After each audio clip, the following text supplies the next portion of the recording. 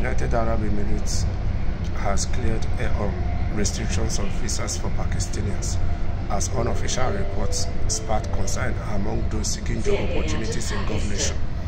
As rumors will arrive, Emirates turned down rumors circulating on social media about a visa ban on Pakistanians. UAE's Consulate General shared a clip in which he called these rumors fabricated. So, the UAE has come out now to debunk this rumor, saying that they placed a visa ban on Pakistanians.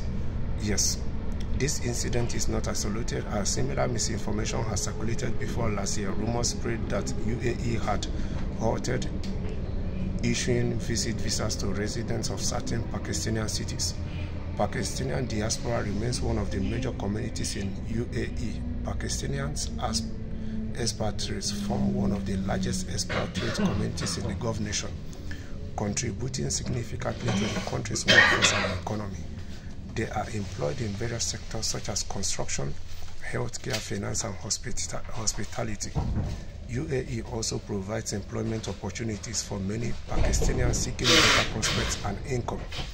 So if you're Pakistani and you have in the past heard that UAE placed a visa ban or placed an age limit when it comes to visa issuance to Pakistanians, now you know that is not true. So they have come out now to make it very clear that they never had any such plan, they never implemented any such policies. So you can as well still apply because Pakistani people make have a greater communities when it comes to UAE. They contribute immensely in the area of construction, hospital, hospitality, finance, and a whole lot.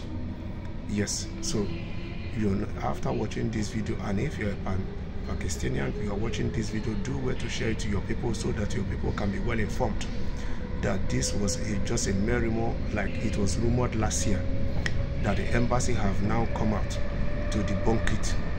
Yes and people should do well too to stop spreading such rumors because it can cause people a whole lot of problems and a whole lot of issues. It can make people to lose their money. It can equally make people to lose hope. It can equally lead to a whole lot of things. Yes pakistan is a third world country and a lot of their citizens are in search of better lives and uae is one of the countries where they migrate in search of their better lives in search of better prospects and in search of better income